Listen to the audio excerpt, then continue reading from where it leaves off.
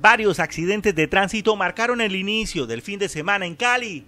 El primero tuvo lugar en la madrugada del viernes cuando dos vehículos chocaron aparatosamente en la vía Cañas Gordas, en instantes en que uno de ellos se disponía a realizar un retorno a la altura de la carrera 115 donde según versiones hay un vehículo eh, tipo campero que viene bajando por la Cañas Gordas sentido sur hacia el norte y eh, hay un Audi que hace un cruce según versiones, en semáforo en verde, según versiones, esto está por esclarecer. Lo impresionante de este caso fue la distancia a la que el vehículo de gama alta fue arrojado tras el potente impacto. Más o menos son como 60 metros el, recorrido que hace el Audi después de perder el control por el impacto, ah, pues, creo yo, eh, pierde el control del vehículo y viene, a, salta la, la calzada y viene a parar a esta parte. Cuatro personas resultaron lesionadas, entre ellas un menor y una mujer de 28 años, quien revestía mayor complejidad en sus heridas.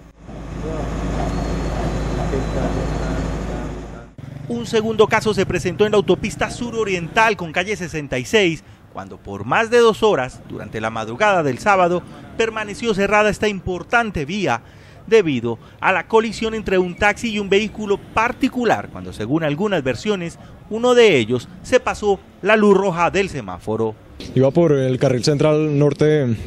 norte a sur, por la autopista. Crucé el semáforo en verde y el taxista que venía de la parte izquierda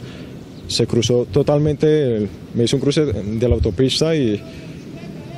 por más que frenara no logré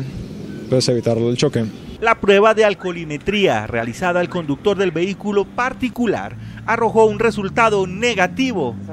Sin embargo, y pese a la reducción de casos en donde son sorprendidos borrachos al volante, las autoridades piden a los conductores que tomen conciencia de los riesgos que esta macabra práctica lleva consigo.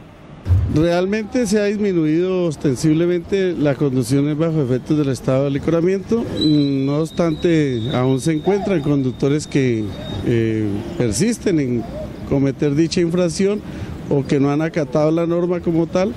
y pues lógicamente son los que se ven inmersos en problemas de índole no solamente